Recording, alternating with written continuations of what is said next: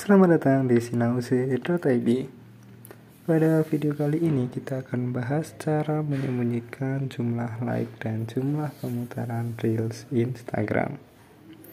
Pertama, buka aplikasi Instagram. Kemudian tap icon profil di pojok kanan atas, eh pojok kanan bawah. Tap icon garis tiga di pojok kanan atas pilih pengaturan dan privacy. Scroll ke bawah lalu tap jumlah suka. Nyalakan sembunyikan jumlah suka. Nah dengan mengaktifkan sembunyikan jumlah suka jumlah suka pada postingan dan reel dari akun lain akan disembunyikan.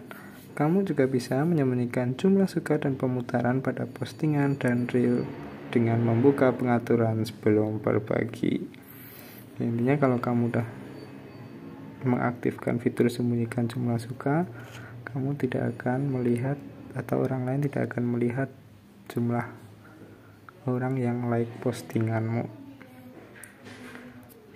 Gimana? Gampang banget kan? Terima kasih sudah menonton. Sampai jumpa di video berikutnya. Bye bye.